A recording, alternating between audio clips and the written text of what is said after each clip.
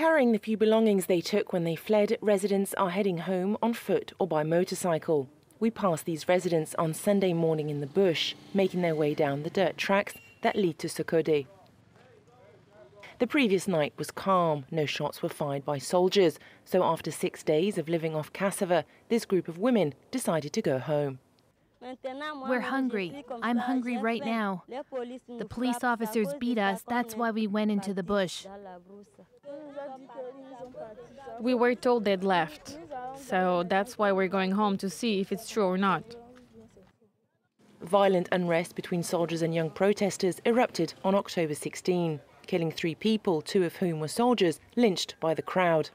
The crackdown that followed triggered this massive exodus into the bush. Despite the relative calm, many people still fear for their lives. When I see a soldier, I'm scared. Those that shoot bullets and all that, I'm scared. You see, my dad went back to Sokode and told me to go back, but I said no. Has it really calmed down? He says it has, but I don't want to go home. 20 kilometers away in Sokode, life is slowly returning to normal. A few stalls are laid out at the market and small shops are open for business. Yet signs of the recent violence are clearly visible.